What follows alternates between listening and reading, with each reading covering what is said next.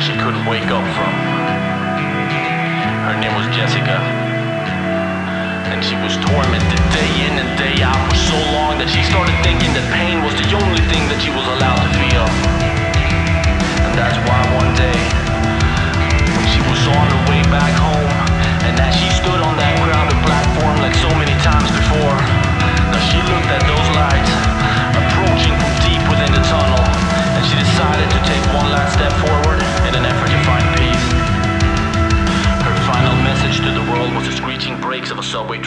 down, send text reading, I hope you're happy now.